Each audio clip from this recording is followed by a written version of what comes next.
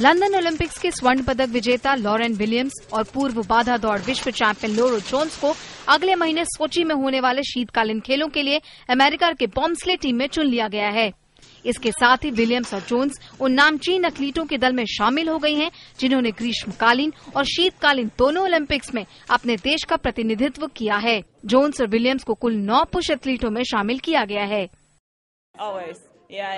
कभी भी अगर मैं असफल होती हूँ तो मैं इसे एक प्रेरणा की तरह लेती हूँ और इससे सीखने की कोशिश करती हूँ।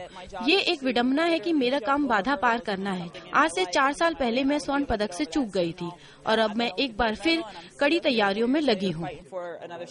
जेमी गुब्रेल एलेन मेयर्स एंड जेसमाइन फ्लेंटर को अंतर्राष्ट्रीय रैंकिंग में शीर्ष तीन अमेरिकी पायलट्स के रूप में चुना गया है। वहीं जोन्स विलियम्स और एजा इवांस को महिला पुरुष एथलीट के रूप में चुना गया है। दो बार के विश्व इंडोर बाधा दौड़ चैंपियन जोन्स को 2008 के पेचिंग ओलंपिक्स में स्वर्ण पदक जीतने का प्रबल दावेदार माना जा रहा था।